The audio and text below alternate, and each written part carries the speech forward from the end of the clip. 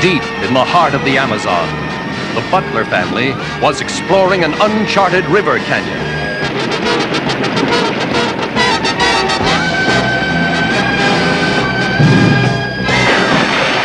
Suddenly, caught up in a violent whirlpool, they were propelled through an underground cavern and flung into a hostile world of giant prehistoric creatures. A world that time forgot. Now